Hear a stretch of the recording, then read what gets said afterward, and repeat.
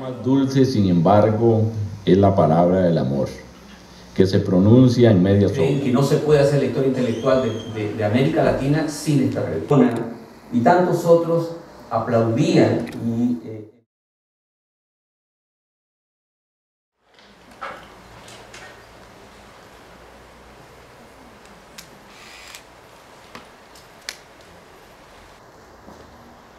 los niños por donde ya nada es como antes. ¿Quién te cosecha? ¿Quién te ama? Poco a poco.